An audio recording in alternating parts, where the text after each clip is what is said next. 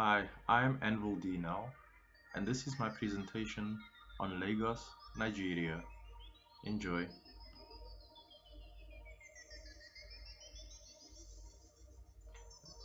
This presentation will be followed by an itinerary for our last day before leaving Lagos.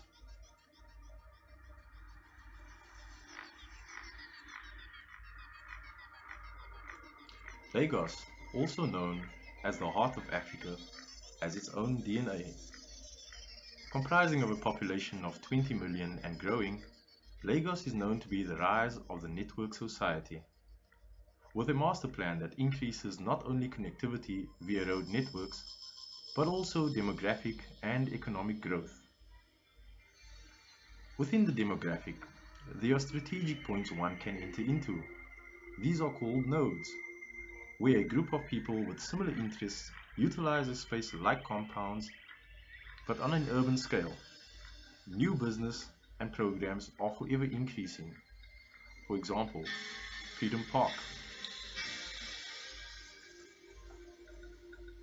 In terms of paths, Lagos can be described as having meshed webs of self-organizing mechanisms consisting of footpaths, corridors, pathways, pavement, trails, avenues, lanes, alleys, passages, berms, and sidetracks, not to mention the option of canoeing through the sewage-filled canals.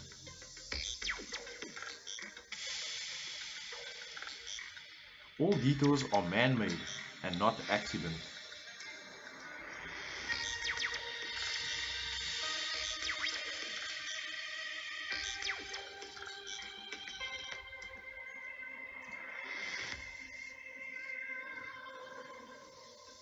Our Sunday itinerary.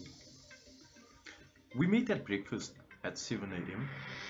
and at 9 a.m. we make our way to the Lagos National Art Museum, a landmark of culture historically emphasized that is also a node branching to districts of art, theatre and entertainment. At 10 a.m. we stop by the National Stadium, another landmark comprising of a multi-purpose area, swimming pools, basketball courts, as well as boxing arenas. At 10.30 we depart for the airport. We drop the rental at 11am and prepare for boarding our plane to Cape Town. Thank you so much.